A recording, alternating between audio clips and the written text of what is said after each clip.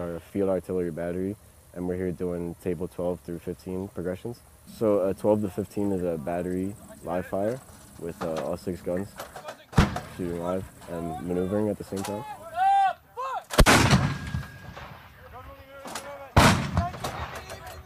The kind of guns we are shooting today are the Mike 7 Alpha 1s with a 155 millimeter artillery shell.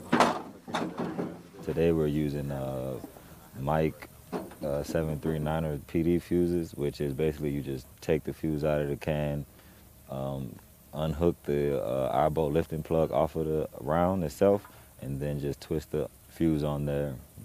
Not too much to it. So my job is um, the ammo team chief, and basically what I do is I keep account of the fuses, the rounds, the primers which we use to ignite the uh, charges. I keep account of the charges, and I communicate back and forth with FDC and my chief to make sure everybody's on the same page.